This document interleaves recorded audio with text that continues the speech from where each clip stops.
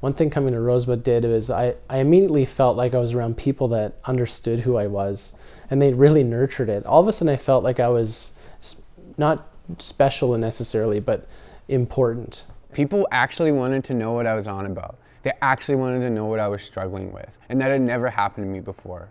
I came for a scout week to see how it went and loved it. Um, I pretty much decided I was coming here before I came for my scout week though, but just to confirm. Yeah, just going into classes throughout the week and meeting people. I really enjoyed it and I got very excited about coming here.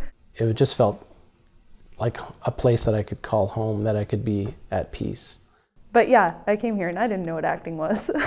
I didn't take drama in high school. I did community theater. Kalina was the girl who wouldn't talk to people, didn't really put herself out there. And they put her in this dinner music group and she became the mouthpiece. She was the one introducing the songs and engaging with the guests. And the other two musicians were following in her wake. And we were like, who is this girl? Everything starts dropping in, and you're having revelations about your craft, about yourself, about things that you are doing that you don't want to be doing. Because it's so much smaller, you get that more individual um, attention and that individual focus. And so you're not lost in the shuffle of there's all these students and we're just trying to get through all this stuff. And you know, if you're struggling with this, then you kind of got to figure it out on your own because the instructor just doesn't have enough time. Um, whereas here, there is definitely that time for your instructor to work with you and to find what actually works for you. I was very lucky to to perform a whole bunch with with Rosebud School of the Arts. Like I did, I did my two uh, mandatory shows in my second year, and then I did that class again in my third year. So I did four shows coming through, and then a main stage show in my in my final year, and in total, I think it was over 100 performances or close to 100 performances of, of just practicing this craft with all these people who surrounded me with support and care and advice. After, after so many years, it's like, oh, year after year after year, what do we see?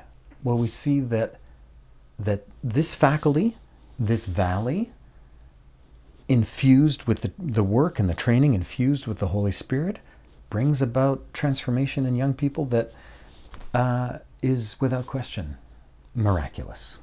Like the, the comments we get back from, from people about who our grads are and the kinds of storytellers they are, they're transparent, they're authentic, they're real individuals, right?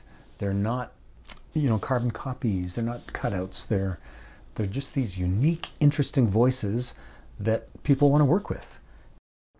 If you're looking for a theater school where people will actually look you in the eye and connect with you, if you're looking for a place where, where there's many professors who know their stuff about the industry, who know their stuff about acting, that's where you want to be.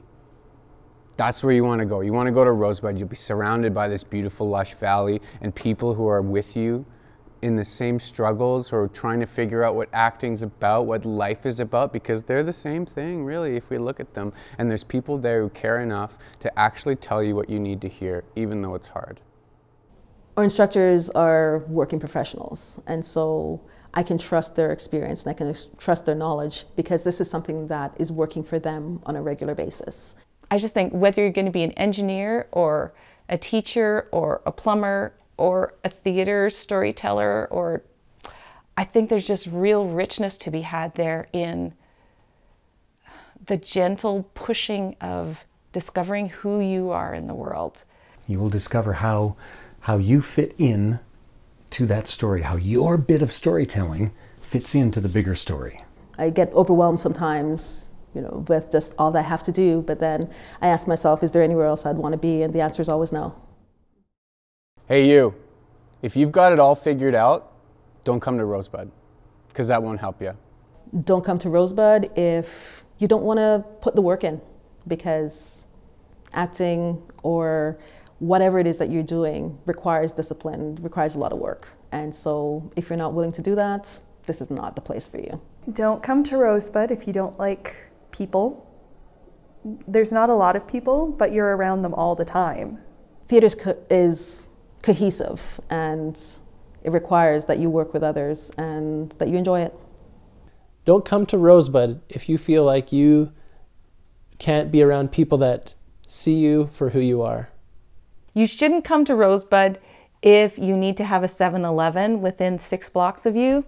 If you are addicted to your cell phone, because cell service is spotty.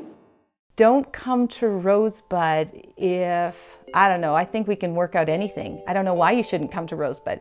Don't come to Rosebud if you're dead. Don't come to Rosebud if you're dead. Well, we have a good cemetery. I think you should come to Rosebud.